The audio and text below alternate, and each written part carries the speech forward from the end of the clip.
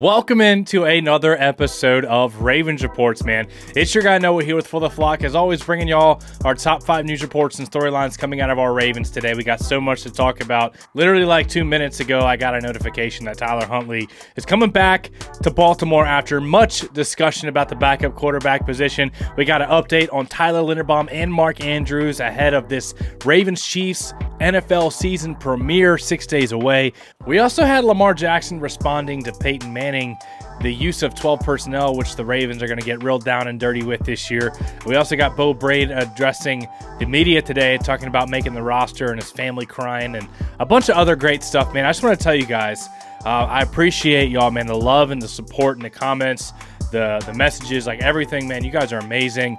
Um, I, I, welcome you and appreciate you being part of the For the Flock family. I uh, truly mean it whenever I say I love you guys, and I appreciate y'all, man. That's I mean that from the bottom of my heart. Uh, let's dive in to the content. At number one, Tyler Huntley comes back to Baltimore. We had this as a possible reality whenever um, a few days ago, I think last week, we did an episode of Ravens Reports. A report came out that the Browns um, they kept four quarterbacks on their active roster with DTR, Deshaun Watson, Tyler Huntley, and Jameis Winston. We are like, there's no way they're keeping four. They were fielding trade calls for both Tyler Huntley and Jameis Winston. Nobody was going to trade them because they're like, dude, we know you're going to have to release one or two of them here. You're not going to keep four on the roster. That's exactly what happened. The Browns released Tyler Huntley. And now he's heading back to Baltimore, which is absolutely crazy because he's been the primary backup the last few years. He's beat out any competition that the Ravens have brought in at the backup quarterback position, but the Ravens didn't want to pay him. The Ravens were comfortable with Josh Johnson and didn't really have a lot of salary cap to pay Tyler Huntley the money that was offered to him by other teams. And Eric DeCosta said yesterday that, you know, the Ravens liked their backup quarterback position, but they wouldn't be um, unwilling to address it and you know if, if opportunities came up and that's exactly what eric DeCosta and the ravens did. I think they like josh johnson in the room as like the mentor the coach. Like basically that's exactly what eric DeCosta said. He's like having a second coach you know in the backup quarterback room.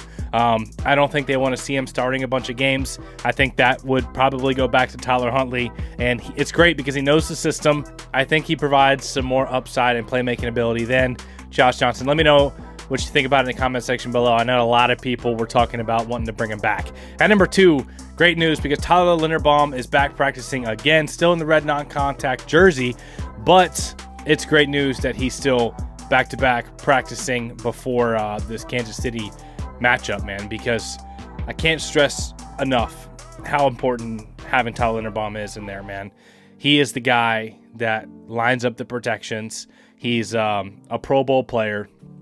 He's a rock in the middle of the offensive line with some unknowns right now. The reality of the situation is the Ravens need Stanley and Linderbaum to be there and to perform at their best of their abilities uh, for the Ravens to have a solid offensive line. It's going to be huge in helping provide some stability with some other unknowns on the offensive line with a rookie in Roger Rosengarten or Mekari. The right guard situation is up in the air with Faalele or Ben Cleveland, and the left guard spot with basically the rookie and Andrew Voorhees. Linderbaum is a huge part of the equation for not only Lamar Jackson to be kept clean in the pass game and have time to dish the ball downfield to his receivers and tight ends, but also for Derrick Henry and the run game as well. And it's kind of important against the Chiefs that have one of the best defensive tackles in football and Chris Jones, man. So uh, definitely important to have Tyler back. It's great news that he's practicing again. At number three, Another big addition is Money Mark. Mark Andrews is back practicing. It's been a few weeks now since that car accident. He, had not practiced, and Jeff Zrebiec uh, put out a little nugget that it was looking like a leg strain because he had had taken some limited snaps before um, the car accident and you know took some snaps off and was dealing with like a leg thing and then the car accident happened as well and you know he hadn't practiced for a little while. I don't know if it worsened the leg, if they just wanted to use it to make sure he he was fully rested and completely healthy for the regular season. But uh, Mark Andrews back out there is huge. The safety blankets, the playmaker, the Pro Bowl tight end. Um, for Lamar Jackson. And speaking of tight ends and what the Ravens are about to do to the NFL with the best tight end duo in the National Football League, I want you guys to listen to this little um, interview from Peyton Manning and then Lamar Jackson addressing that interview. Here's what Peyton Manning had to say about his tight ends in that 12 personnel package. Two wideouts, slot receiver, tight end. Who you got? I'm going to audible, which I used to like to do. I'm going to, I'm going to move the slot off the sideline. I'm going to bring in two tight ends. Okay. All right. Okay. I'm going with Kelce and Kittle right here, right here. Okay. And now, and now you're in a bind on defense because you go, okay, two tight ends. I better bring in, you know, uh, our, you know, extra linebackers, right, and play our base defense. Well, there's no linebacker in the NFL that can cover Kelce or Kittle. Right. So, okay, now we're going to bring in two DBs and play, you know, nickel or dime coverage. Well, those guys aren't built built to stop the run. Now we're going to run the ball at you. So now you got a major problem on matchups. Kelce and Kittle make defensive coordinators have long nights, Gotcha. right? I'm putting Justin Jefferson out there, out there on the right, right? I'm going to put Chase uh, on the left. Okay. Put Chase on the left. O- over Tyreek Hill? No, I'm putting Tyreek at running back. Put Tyreek at running back next to me. So Lamar Jackson responds with this little gif here, and um, he says at Mark Andrews, at Isaiah Likely, Derrick Henry, Rashod Bateman, and Zay Flowers, talking about his little crew that he would uh, dream up. I love how he's uh, he's got his guys backs, man. He's throwing some more confidence towards their way, and when you look at this group of skill position players that he just showed, it's a nice group, man. It's going to cause issues. We talked about 12 personnel several times, um, but I want to talk about it again. The ability of having Isaiah Likely and Mark Andrews out there at the same time, whether it's on the same side of the formation, whether it's on opposite side of the formations off of each tackle, however they want to do it, uh, have one in the slot or whatever.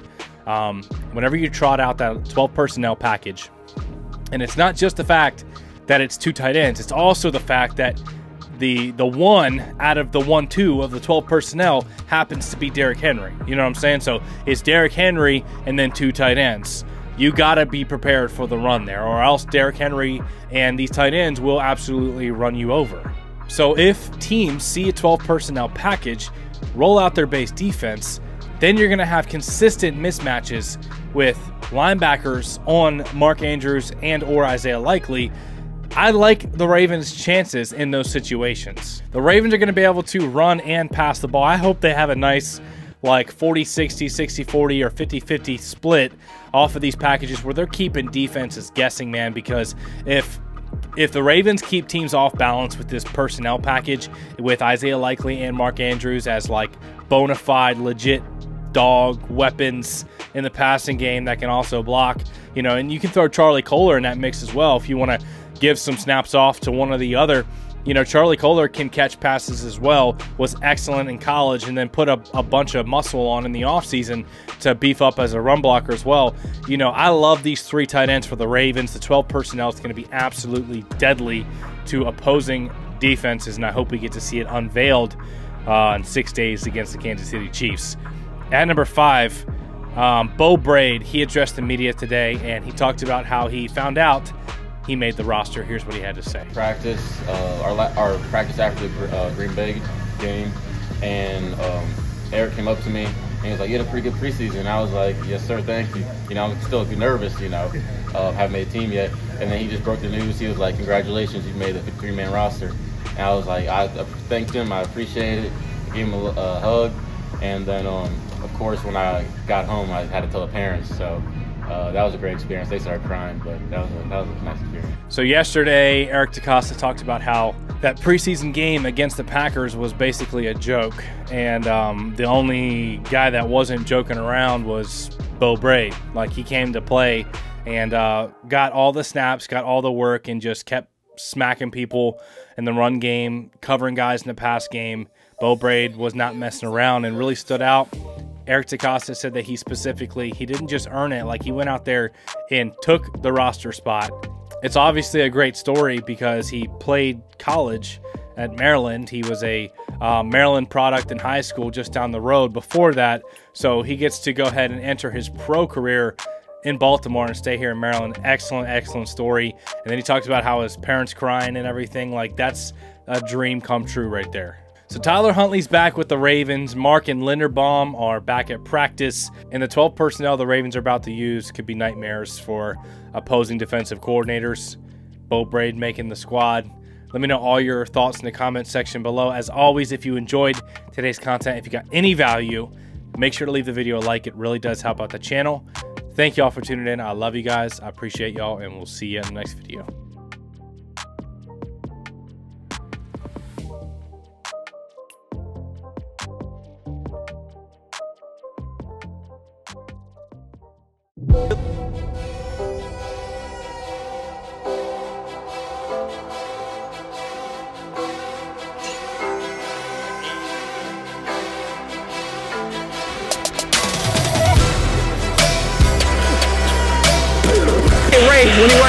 Ray, when he wasn't